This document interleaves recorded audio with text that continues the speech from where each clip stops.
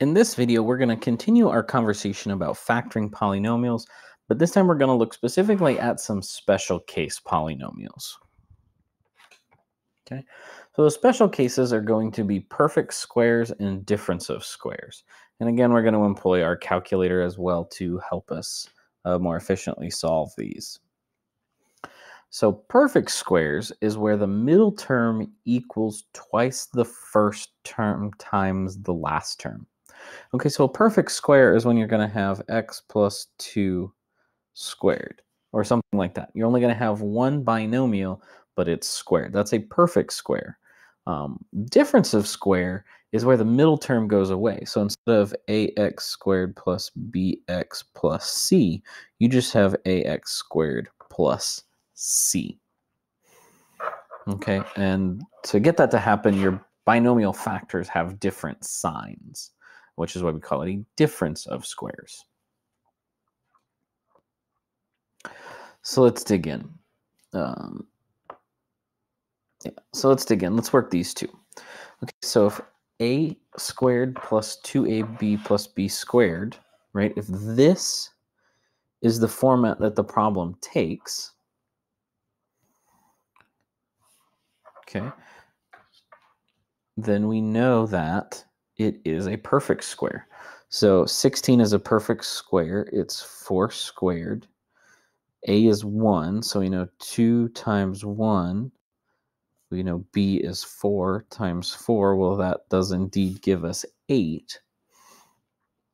So we know that x, 1x plus 4. I'm going to get rid of this 1 to clear it up. So x plus 4 squared is the perfect square for that. Now let's look at difference of squares. So difference of squares is the same uh, idea, 2ab and b squared, but our sign is different right here. Um, perfect squares will only happen if it's uh, all positive. Uh, difference of squares. Um, sorry, Uh, perfect squares will happen when it's all positive or only one of them is negative like we have here in the second example. So let's look. b squared is going to be 6 squared. a is 1, so 2 times 1 times 6 does give us 12. So we're good there. So this is going to be x minus 6 squared. And there you go. So that's a perfect square example. So go ahead, pause the video here, and I want you to try these two um, on your own in your notes. If you have any questions, write them off to the side, and we will pick up uh, in class. All right, so now difference of squares. So difference of squares, remember the middle term drops out, and you're going to have a different sign. So if you see positive and you see negative, so let's look, let's a squared minus b squared. So we've got the minus down, so that's good. Let's check. a squared, 25 is a perfect square, so that's 5 squared.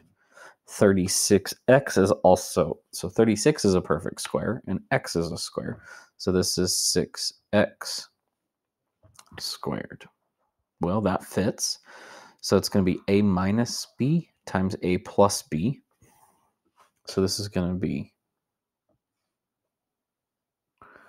Um, this is going to be 6.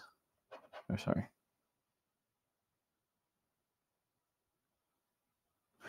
Um, so 6x plus, nope.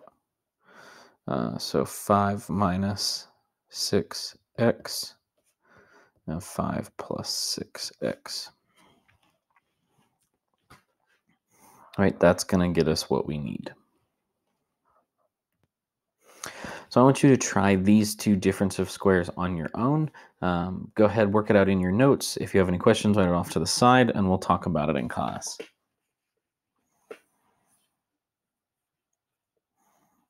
Um, so we're going to talk about this uh, in class, but what I'd like for you to do is there are five different uh, polynomials off to the right, and I want you to classify them as either difference of squares, a perfect square, or a trinomial that is not a perfect square. Sorry, there are six.